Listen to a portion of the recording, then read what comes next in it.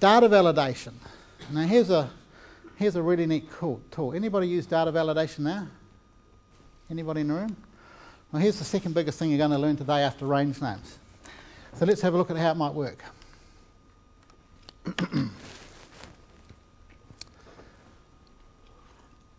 let's say we've got a little spreadsheet and we want people to enter a type of fruit in this little questionnaire in that blue cell. But there's only there's one little restriction. You can only use the fruit that is in the official list. Right? And we want to put it in that cell there. So what are we going to do? The first thing is give that list a name. Anybody remember how we give names? We talked about it before, didn't we, with the GST and the exotic fruit? So we're going to go into, into here. First of all, we're going to go in here and give this, these fruit a name. Now what, so we've highlighted the range, and in the little name box we are going to say what? No, we want something more. We've used that before, come on. Fruit salad. Fruit salad. Has anybody else got a voice? You're, providing all. The, I mean, it's hard when you have to give all the answers to everybody, isn't it? Yeah, how it is. So we're given, we've given this cell a name called fruit salad. You all happy with that? So in my little drop-down box, fruit salad happens to be there. And in my little box here, we're going to put an answer. So we go into data. You can see I go across the menu to data. And I go down to something called data validation, which is down here. And it comes up with a box like that. And it says, what are you going to allow? And, and by default, it says, well, you can allow anything, because obviously a spreadsheet wouldn't work. So we go into the drop down box and it says there's a whole lot of choices, and one is called a list. So we go into the word list, and it says, okay, you've got a list, and it says, where is the source? So we go down to our source, and we simply type in the name. And what name did we give it? Fruit salad. And you might have noticed as soon as I push the button, you can see a little arrow comes down. You might have seen in a whole lot of Microsoft products. We drop on the list. It comes with the fruit salad. We're going to do that again, actually, because I need to put an equal sign in front of it. It's a formula. Equals fruit salad. And in the little drop-down box, you can see that the type of fruit here happened to be the type of fruit there. So we can simply move the, the arrow down and say, let's select kiwi fruit because that's a nice Tauranga thing. And there we have it. So we just, in our list, we had all the list here, right? So what's happened, here's our official list. And in our formula, we've said you can only use items in the official list. And we gave the, the list a name called fruit salad. And when we drop down, you can see the choices. And we can just go down and ch check one at random. Let's put in the word lime, so we can change that. What would happen if I typed in the word lime into this? Uh, you don't have to use drop down, you can put the name in there. What would happen if I put in the word lime? You come up with an error. Anybody would like to contradict Peter? Any, anybody talking today? No. That's one, that's two. Hey, we've got three, that's cool. Anybody else talking? If I put in the word lime, what's going to happen? I push the enter key and it comes back, and you might have heard my laptop say ping. It says the value is not valid. The user has restricted what you can put in there. What's I put in the word limes with an S?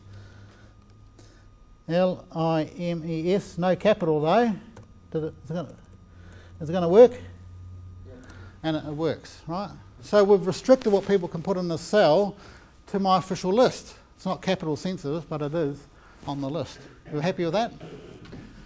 Now let's say that um, I, I, like to pick on Tauranga. There's no reason why, but what's the new type of fruit coming in Tauranga? Got them thinking here.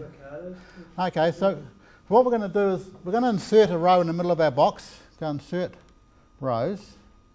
And we're going to type in here the word avocado because that's happening.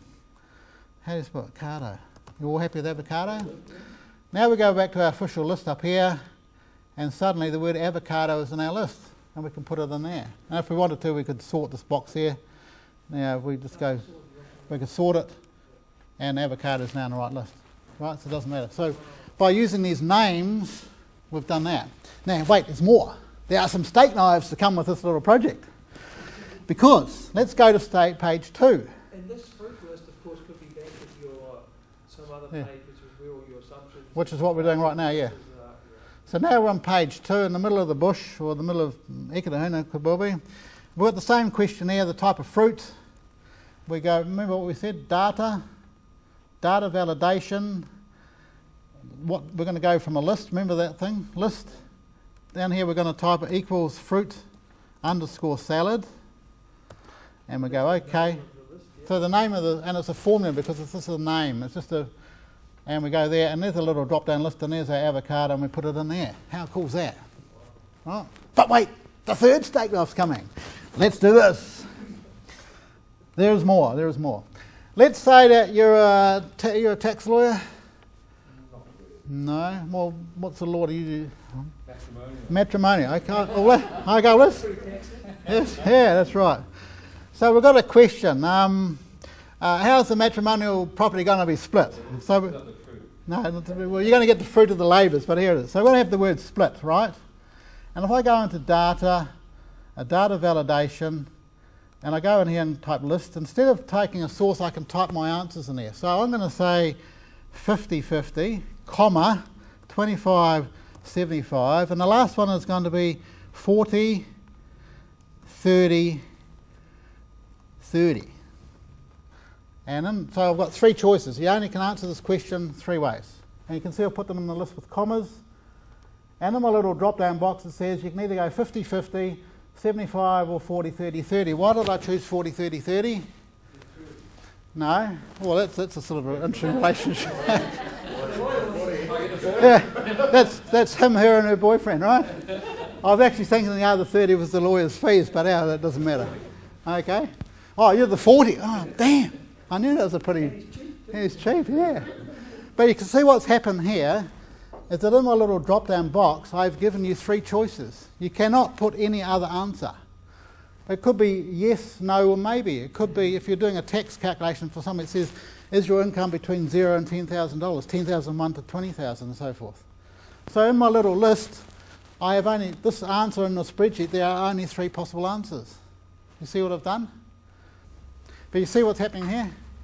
So a lot of spreadsheets where you've got the common things happening, you can have your list made up like that, and then you can force people to say, this is the only answer I can get. So you can see how this pretty powerful little tool, right? Just by using these drop-down lists. And it might be, if you're an accountant, it might be depreciation rates, uh, property investor, it might be the street names or your different buildings you've got. I mean, there's all range of things because it forces people to give the same answer. Or if you're in a payroll application, you know, um, what's a Scottish name? What's a, what's a Scottish name? McJagger. There's different ways of uh, spelling it. Yeah, it might be a big, big M and small c, or a small m and a small c, and some people have big C's and small c's, and a small j and a big j. So you could put people's list names in here. This could be the list of all your employees, and you could have it so that you always spell employees' name the same way. Or it might be the different departments in your business. You know, there's the accounting department, the sales department, marketing. So you can always only ever have those answers in your spreadsheet.